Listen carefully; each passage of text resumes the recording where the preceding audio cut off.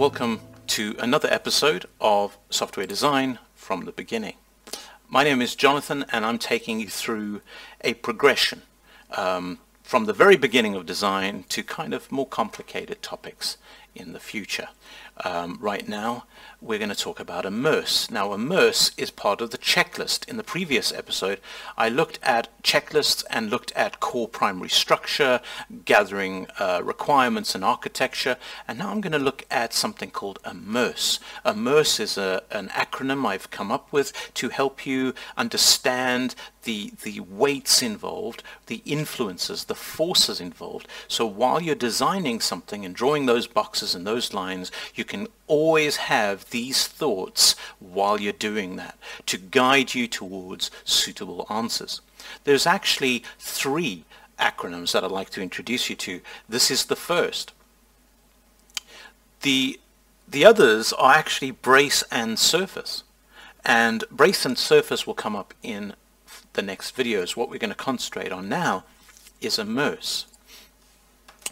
AMMERSE is an acronym that I thought about about maybe 14, 15 years back.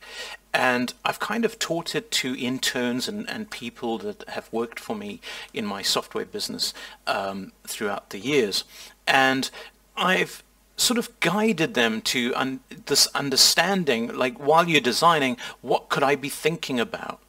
Um, it's very easy to get locked into a sort of a way of thinking yourself uh, about boxes and the technical things, um, and then start forgetting about the other side, uh, business side, or, or perhaps some kind of technical uh, constraint that should be there but you've forgotten about. So AMMERSE is part of the, the heuristic, the mnemonic for understanding if your design is going through correctly.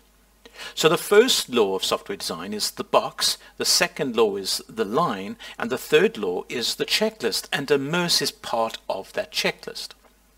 I want to present this to you now and give you an understanding, uh, basic understanding of what it means. AMMERSE is a very complicated topic. Um, it even maps to design patterns and types of architectures, ways of thinking about and reasoning about the system. Uh, this episode will just take an overview approach. So AMMERSE is a mnemonic, uh, agile, minimal, maintainable, environmental, reachable, solving, and extensible. I sometimes say solvable instead of solving. Perhaps I should commit to one of those. Agile, let's start there.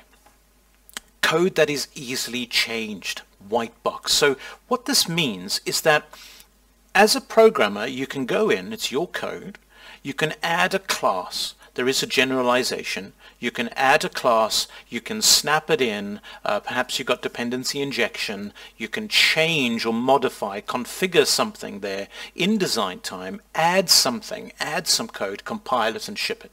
So agile code is code that is designed so that you can make a change in the right places because you've expected it to change or you've expected it to have some kind of changeability or modifiability at that point. So agile design is very, very important um, to not place everywhere, right? So there's a trend at the moment to put dependency injection absolutely everywhere. There is a cost to doing so, but agile code, code which you want uh, to place in the right areas so that it is changeable is a good thing. Doing too much of something can be a bad thing. Minimal code is so that we can always think about creating only necessary complexity and necessary abstractions. Um, Al Shalloway says fit for purpose. Absolutely. I call it the minimal part of the AMMERSE design principles. Minimal code is all about deleting. In the first episode, when we looked at the, the box, the first law of software design, uh, we looked at drawing out all the boxes. And the second episode, we talked about subtracting those boxes. And that is an iterative thing. You draw all the things out. You then say, well, that's, too, that's a step too far. Take it away. That's a very, very important thing. Um, minimal is part of that checklist to ensure that you are taking away and only keeping what is absolutely necessary, creating abstractions and generalizations that are absolutely necessary. Maintainable is easy to understand and read, right? The code should be easy. You should follow guidelines and conventions. Um, if somebody else, another developer comes into the team, you might have found this out. They might have been, I don't know, slightly um, in love with regular expressions. Uh, maybe they code in a certain way that's slightly at odds with the rest of the team. They have some prefixes that they use all the time, and it just looks odd. Uh, perhaps um, you know the maintainable code um, is not that maintainable for you. Maybe maybe you need to think about others and make a more team-oriented maintainable code. Environmental is similar to maintainable and minimal and all those things. They're very similar, but it's focused on the code must sit and be functional within the environment that it sits within. So if I'm in a web world, web design, if I'm in a pipeline world, if I'm in an MVC architecture, if I'm in a DCI architecture, what I design and how I do it should fit within that environment. It's no good designing things that are at odds with the environment. You can, but you will fight and struggle to you know get your sorts of designs in that architecture. Could you imagine a stateless architecture and you're trying to build a stateful architecture within that? Environmental is very important reachable. So there are always constraints. All of these are constraints. Reachable is more specifically a project management type thought. It is budget and time. There are other types of reachable constraints in terms of team, team size, capability, and so on. But really, ultimately, you should be asking yourself when you design, can I reach this within the time frame, and can I therefore do it within the budget that's been set aside? Solving. So I sometimes say solvable because, right, we, we have solutions, we build solutions, we solve problems, that's the idea. Uh, we build software solutions. If I if I did one line of code and it solved that immediate problem, we had a bug, uh, I fixed it, um, that's a solve, that's a solution.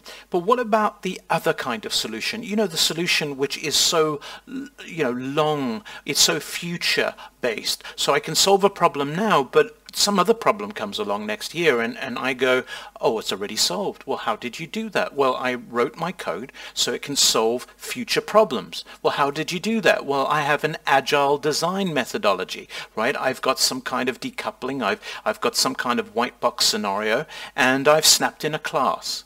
There it is. So solving is not just solving for now. We've got to think about solving future problems. And that leads us to how we do a design. Extensible is similar to Agile, except that it is a a runtime scenario. What we want to do is give our internal developers the capability of building a plugin and shipping the plugin and solving a future problem or solving a problem that we've now encountered. We also want to be able to provide that to external developers, right? That could be part of our business capability or it could just be part of our, our kind of way of approaching code. We could say we have a core system and that that you want is part of a plugin. We're going to build a plugin. We've got a different code base. We can even hire somebody else to build that plugin. Um, it could even be part of your business capability that your software evolves from a simple application into an ecosystem and has um, an extensible plugin mechanism. In the next part, we're going to talk about AMMERSE Design Maturity Index. And this is how you utilize these seven weights in which order that represents a level of maturity. And we'll discuss that in the next part. Thank you for watching. Don't forget to like and subscribe and share and recommend this with anyone you feel might benefit from understanding the better, fuller picture of software design. I'm Jonathan. Thanks again for watching.